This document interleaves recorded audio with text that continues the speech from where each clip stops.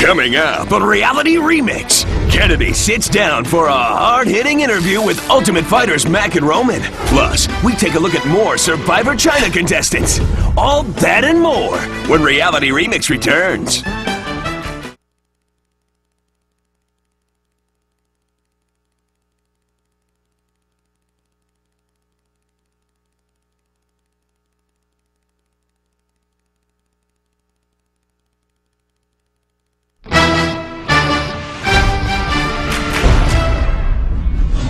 I'm Danielle from Big Brother 8, and you're watching Reality Remix on Fox Reality Channel.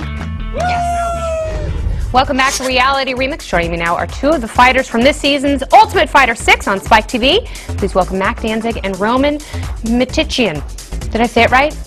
Sweet balls. All right, guys. so let's talk about this season of Ultimate Fighter. Another grudge match between the coaches. Last year we thought uh, Pulver versus Penn was going to be the ultimate. They could never get two coaches who hated each other more.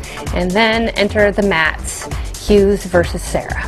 Why do these guys hate each other so much? When did it start? Who started it? Um, I think they're just uh, both serious competitors, and I, I think that uh, you know you've got two different cultures. Meaning you got Matt Hughes the farm boy from the Midwest, and Sure. He looks like a farm boy with a big neck. Yeah, exactly. And you've got if you got Matt Serra, who's uh, just like a your, your typical New Yorker. You know, he's he's a bit of a smart ass, and uh, they they don't mesh well, and you know they know they're going to be fighting. They both. Uh, yeah, they, they don't they don't get along well at all. That's for sure.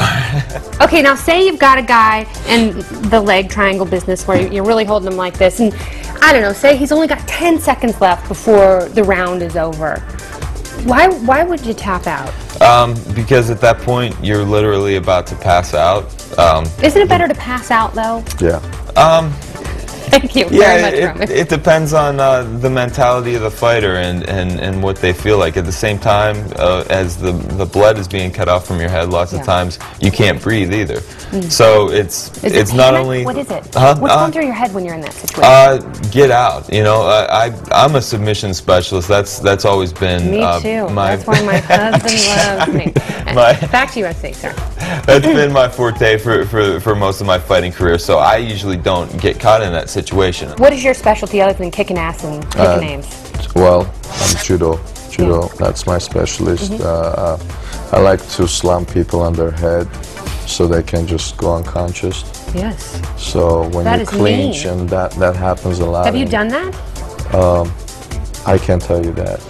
Oh, Roman. Why- I cannot why wait couldn't to you see you fight. I Bring that yeah. elbow. Yeah, you see, it just, you know, you, you have clinching and all that stuff going.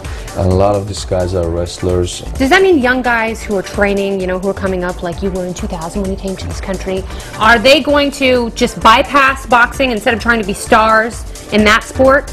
Are they going to go immediately to MMA and Well, I think MMA is, if you're a judo guy or wrestler, Mm-hmm. that's your best pick, MMA. okay. UFC. Sure. If you're a boxer and you come to this country or anybody, if you're a boxer, I think you should stick with your boxing. Mac Roman, thanks so much for coming by. The carrot and the steak. Both That's of you have been delightful to interview. Good luck on your